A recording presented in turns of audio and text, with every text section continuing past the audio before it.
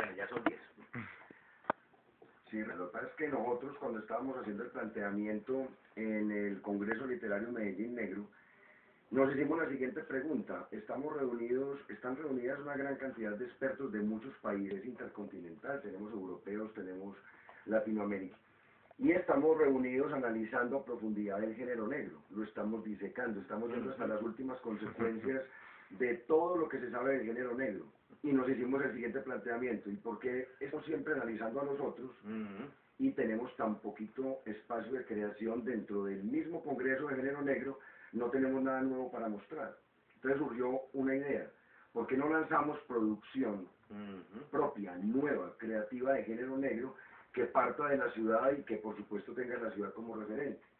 Entonces se hizo una alianza estratégica con una editorial líder en el mercado, en el sector del género negro, que es Ediciones Veo que ya tiene tres libros publicados previamente, con un buen éxito editorial.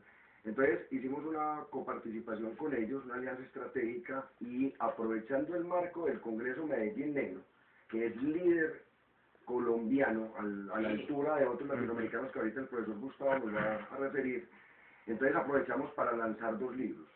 El primer libro convoca a los dos primeros participantes ganadores en el concurso que el Congreso convocó. Entonces se cita el ganador y se cita también el primer finalista. Dos novelas de gran factura literaria, de lo más negro, y van a salir en el volumen respectivo. El segundo volumen que se va a lanzar en el marco de este Congreso es un volumen que reúne dos novelas cortas de mi autoría. Una de ellas se llama Alguien ha visto el entierro del chino y la segunda novela se llama Después de Isabel el infierno. Esta última tiene un valor agregado y es que quedó de finalista en el primer premio internacional de novela corta Mario Vargas Llosa, entre, más de, entre casi 700 participantes. Entonces aprovechamos que estamos hablando de género negro, que estamos explorando hasta las últimas consecuencias del género, para presentarle a los fanáticos del género, a los lectores en general, a la historia literaria de Colombia en particular, la creación desde el, desde el propio marco del Congreso. Y esto se supone que es de largo aliento. No nos vamos a quedar simplemente en el lanzamiento de este par de obras. Tenemos una, una, una ambición grande, tenemos una visión prospectiva del problema. Hay mucha creación en la ciudad. Estamos aprovechando que las editoriales están, eh, están apoyando a la gente nueva porque normalmente las editoriales en su proceso pues, de generar mercados y generar ganancias apoya generalmente a la gente que tiene ya un nombre consolidado que le garantice ventas.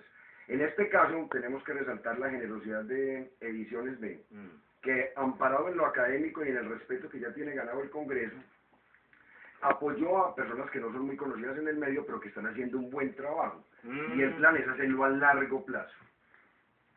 Una consideración importante que nos motivaba para esto. Sí, sí, pero, pero me parece que los hay que abrirles el apetito. Eh, antojarlos. antojar a la gente. Hablaste de dos, de dos títulos tuyos. Qué bueno darle algunas puntaditas sobre eso. Porque hay algunas que tienen, el, por lo menos los títulos, son muy atractivos. Absolutamente atractivos. Bueno, vean, eh, se trata de conservar el concepto de lo negro. En el lo negro generalmente hay un crimen. Lo primero que aparece en una estructura literaria del género negro es un crimen del cual no se sabe absolutamente nada. Uno simplemente se encuentra un crimen y en la primera enfoque del problema no hay pistas. Entonces alguien, tradicionalmente ha sido el detective, ya en el concepto moderno no tiene que ser un detective encerrado en una en un ah, cuarto estrecho pensando y simplemente tirando inteligencia superior. No, en el concepto moderno de novela negra hay alguien que se encarga de investigar el crimen y no necesariamente es un oficial, puede ser alguien que se le atravesó el crimen y él quiere investigar. Entonces nosotros tenemos dos propuestas.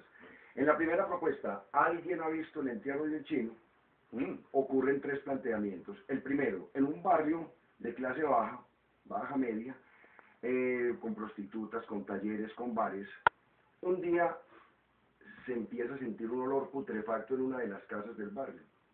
Alguien dice, ven, huele muy maluco, huele a podrido, y la pareja de chinos, la pareja de los esposos Link, no volvió a aparecer por el barrio, que la rutina en los últimos 30 años era que aparecen al diario.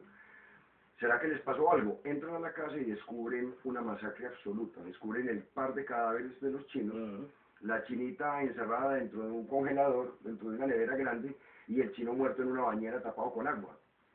Ese es el primer planteamiento. En el capítulo siguiente, un señor, un senado, un ex senador que había salido de las entrañas del barrio, un día acostumbraba a tomarse su, su desayuno en uno de los restaurantes del barrio, llega como en la rutina habitual, se sienta, saluda, empieza a comerse sus frituras y llegan unos sicarios y lo asesinan. Él es muy llamativo porque había sido un, un senador muy cuestionado y había nacido en el mismo barrio donde vivían los chinos, que se llama Villa Santa.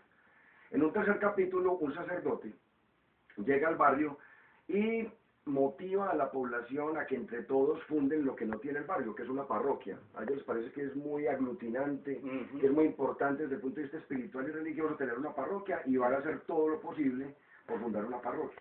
Entonces, las dos primeras historias las miramos en retro, van hacia atrás. La historia del sacerdote va hacia adelante.